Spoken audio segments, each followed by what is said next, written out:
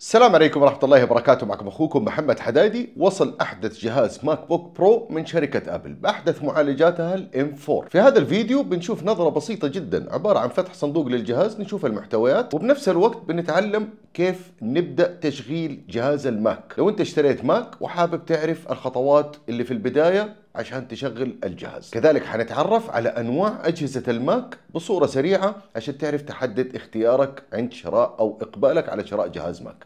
بلاش أطول عليكم خلونا نبدأ الفيديو مع بعض.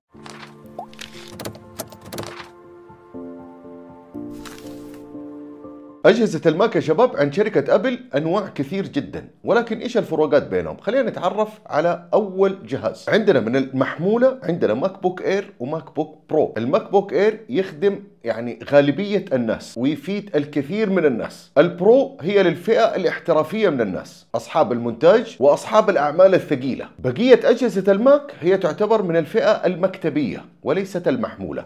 فعندنا مثلا ال Mac mini عندنا ال Mac Studio فال Mac mini للفئة أو لأغلب فئات الناس وال Mac Studio هي للفئة الاحترافية زي ال MacBook Air وال MacBook Pro. عندنا كذلك جهاز ال iMac وهو عبارة عن شاشة بداخلها جهاز ال Mac نفسه. أما ال Mac Studio وال Mac mini تحتاج أنك تشتري شاشة خارجية سواء من Apple أو غيرها. وأخيرا عندنا ال Mac Pro هي للفئة الأكثر احترافية للشركات وأصحاب الإنتاجات وإلى آخره. اللي هو تقدر تعدل فيه وتغير قطع الغيار وإلى آخره. خلاصة الكلام لو أنت نفسك تشتري Mac وتحب Mac محمول فرشح لك ال MacBook Air، حابب تزود فلوس شوية وتاخذ شيء احترافي أكثر ويكون فيه منافذ أكثر فحتتوجه لل MacBook Pro. طيب أنت من الناس اللي تحب تشتغل على المكتب وما تحب الكمبيوتر المحمول أو ما يفيدك كثير، هنا حيكون عندك خيارين يا ال Mac mini يا إما ال Mac Studio، فلو أنت شخص عادي تاخذ الميني. لو انت شخص أكثر احترافية وشغلك يحتاج أكثر احترافية حتاخذ ال Mac Studio وهنا حتطلب شراء شاشة. لو انت تبي تريح راسك وتحب الشغل المكتبي حتاخذ ال iMac جهاز ظريف بس عيبه إنه شاشته أصبحت صغيرة 24 بوصة.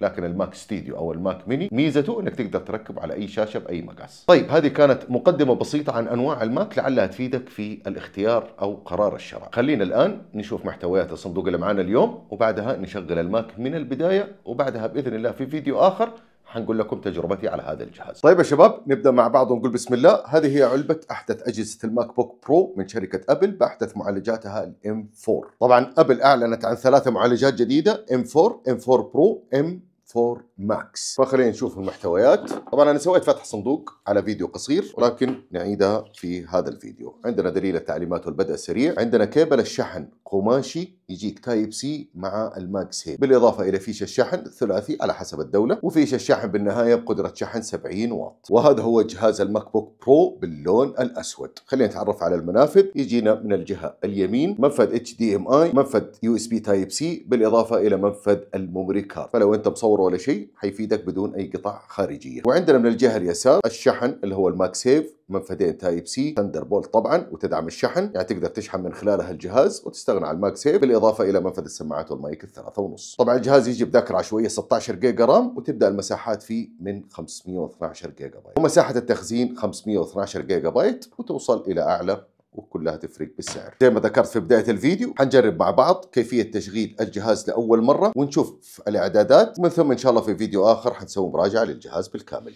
أول ما بتفتح الجهاز لأول مرة بهذا الشكل بيشتغل معك. طبعا من مميزات هذا المعالج اللي عليه إنه جميع فئات المعالج الجديد ال M4 تدعم الذكاء الاصطناعي من أبل Apple Intelligence بيجيك كأنك بتشغل آيفون أو آيباد تختار اللغة. فمثلا هنا محطوط على العربية بختار العربية. بعدها بيقول لك اختار الدولة. محطوط على المملكة العربية السعودية أيضا. بسوي متابعة. الآن تسهيلات الاستخدام. لو أنت حابب تسوي إعداداتها أو بعد التشغيل. فبقول له ليس الآن. الآن بيقول لك اختار شبكة الواي فاي وبعدها نسوي متابعة. والآن وصلني تحديث. فأقدر أقول له تحديث لاحقا. وأقدر أقول له تحديث الآن وأسوي متابعة. لكن أنا بسويه لاحقا بعد التشغيل. الآن برضو بقول له متابعة. هنا بيقول لك الشروط والأحكام. لو عندك جهاز ماك بوك آخر أو ماك بوك إير أو أي جهاز ماك تقدر تنقل جميع بياناتك. لو عندك جهاز ويندوز أيضا تقدر تنقل الحسابات وأشياء أخرى. أنا بقول له ليس الآن. بشغل الكمبيوتر جديد تماما. الآن بيطلبني إدخال حساب أبل اللي هو ال iCloud فبدخل البريد وكلمة المرور. الآن جاني الشروط والأحكام بسوي موافقة. والآن بيقول لي ضع كلمة مرور للجهاز. وأيضا تقدر تسوي تسمية لاسم الحساب وبعدها بسوي متابعة. إعداد الحساب بياخذ شوية وقت الخاص بال iCloud فأنت بتنتظر لحد ما يجينا الخطوة اللي بعدها. الآن سلسلة مفاتيح ال iCloud أيضا بسوي له متابعة. هذه كل الخيارات متوفرة عندك في الآيفون وفي الآيباد وفي جميع أجهزة أبل عموما. والآن أيضا بسوي متابعة. والآن أيضا بسوي متابعة. الآن بتجيني خطوة اللي هو بصمة الأصبع. زر التشغيل هو نفسه في بصمة الأصبع فبسوي متابعة وببدأ أعرف أصبعي على البصمة زي أي جهاز يحمل بصمة نفس طريقة التعريف حط إصبعك بكافة الاتجاهات حتى يتعرف عليه وبعدين نسوي متابعة. الآن خطوة بطاقات ال Apple Pay لأنه بكل تأكيد الجهاز زي بقية أجهزة ابل يدعم الدفع عن طريق Apple Pay. فأقول له أيضا إضافة البطاقة لاحقا أو أي بطاقة أنت ضايفها ولو حابب تفعلها من الآن على راحتك. الآن مرحبا بك في ماك. من أجمل مميزات أجهزة الماك بوك اير أو الماك بوك برو بكل تأكيد هي البطارية. حتتفاجأ لو أنت متعود على أجهزة الويندوز حتتفاجأ ببطارية عملاقة حرفيا بطارية يعني أنت مت لو شغلك خفيف حتنسى متى آخر مرة شحنت الجهاز ولو شغلك ثقيل ممكن يكفيك بالراحة أقل من يوم أو خلينا نقول نهار كامل. فالبطارية فعلا واحدة من أهم مميزات أجهزة الماك. الآن خلاص اشتغل معك الجهاز بكافة تطبيقاتك. لو أنت مشغل الصور على ال iCloud لو دخلت أيقونة الصور حتحصل صورك جهات الاتصال جميع الملاحظات برامج أبل المجانية المنافسة لمايكروسوفت أوفيس زي ال Pages الصفحات والأرقام وال Keynote. والآن لو حابب حابين نحدث الجهاز بنتوجه إلى الإعدادات إعدادات النظام أو من أيقونة الإعدادات هنا. وبعدها بندخل عام زي الآيفون بالضبط تحديث البرامج والآن بيظهر معنا تحديث ال macOS Sequoia 15.1 نسوي تحديث الآن بنوافق شروط على الشروط والأحكام.